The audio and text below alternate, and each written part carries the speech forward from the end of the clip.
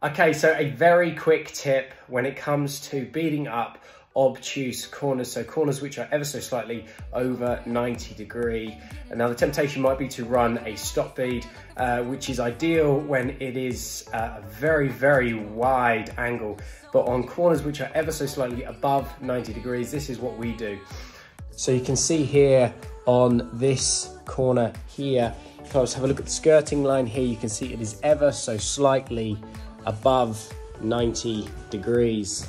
So what we're gonna do, instead of running a stop bead, which is really difficult to get nice and neat when you're doing a reskim on old plaster, what we're actually gonna do is we're gonna just bend out the bead ever so slightly. So it's gonna be a little bit difficult to do with one hand. What we're gonna do is we're gonna use a high quality bead. In this case, we're gonna use Catnic. It's pretty much exclusively what we use. And what we do is we're just gonna ever so slightly just bend out the bead, just a fraction, not an awful lot. So what I'm gonna do is I'm just gonna go through the entire bead, opening it up, and then we're gonna fix it to the wall.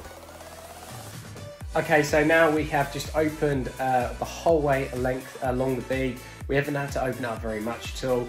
Then what we're gonna do is we're just gonna carefully uh, put it onto the wall like so, and then nail it on. So all I'm gonna do is just use this really cheap Parkside uh. I think I picked this up from Aldi in the UK or something like that.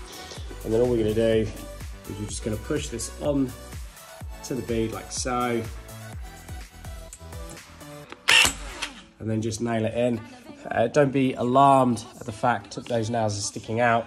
We're gonna tack those in in a second. So what I'm gonna do is I'm just gonna nail this on and then just tap those nails in with a hammer.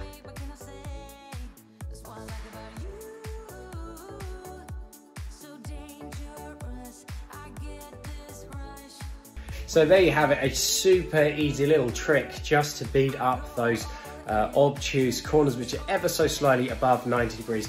Obviously, as soon as it starts going over 100 degrees, you know, 120 degree uh, corners, that's when you're really gonna to want to start using a stop bead.